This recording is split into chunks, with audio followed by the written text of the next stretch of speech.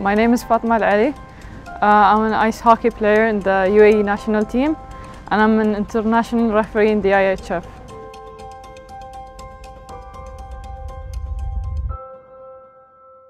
I got into hockey by uh, when I was uh, young. I used to watch hockey movies. The first movie I watched was uh, The Mighty Ducks.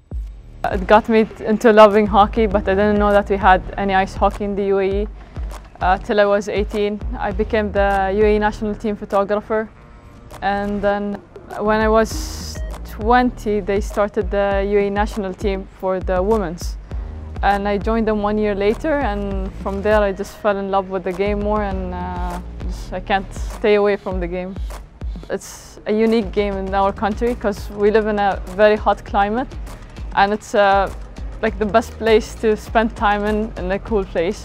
The speed of the game, the actions, the scoring, like the contact, everything about the game that makes me love it. We had a tournament coming on in 2016. Uh, they told me ex-professional players are coming to UAE. They're gonna play with our team for the President Cup. I didn't know any of the players. So I was, as usual, around the rink, walking around. And then uh, we had some free ice time.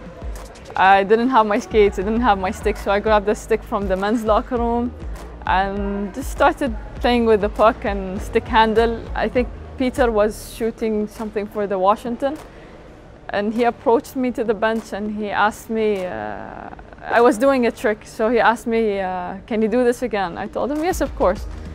And then he asked me, can I take a video? I told him, of course, sure. So he came on the ice, I didn't even have skates on. He took a video and then he asked me if he can post it on Twitter. I told him, sure, you can do that. And then uh, a few days after, he came to me, he's like, did you check the tweet that I posted? I told him, no, not really. And he said it got so many likes and retweets from all around the world and even uh, uh, professional players and ex-professional players, they saw the video. And a few months later, he uh, video called me through Etihad and he told me that I'm going to DC to meet uh, the Washington Capitals. It was a surprise for me. I didn't expect that would happen, so I thought it was like, uh, I didn't think it was serious or it will actually happen. So when I went there, like my dream came true. I, the embassy was surprised to, to see me, to know that the whole story, they were so excited to meet me and uh, after that I met the ambassador and the ambassador decided to bring the whole team uh, the year after to, to Washington. Uh, dropping the puck uh, before the game was the, one of the scariest things I've done in my life because I was shaking before the game. I was too scared. 18,000 people watching. I don't know how many people watching through TV and like professional players, famous people are going to drop the puck in front of me. So it was, it was I, I cannot even describe the feeling. It was one of the best feelings I've ever had, but it was too scary.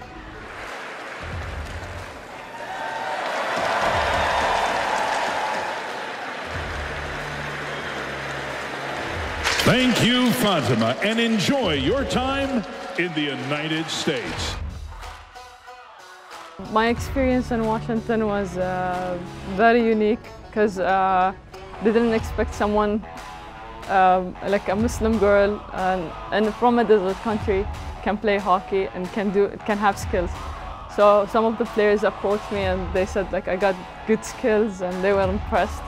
Yeah, Alex Ovechkin, he's so nice. He, he approached me straight away. He, he's the one who took me from the bench on the ice.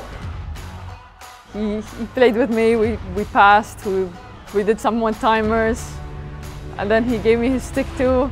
Going to Washington and meeting my favorite players was one of the best things happened in my life and it changed my whole life into like to be a better and I, like people now look up to me and they know that dreams can come true.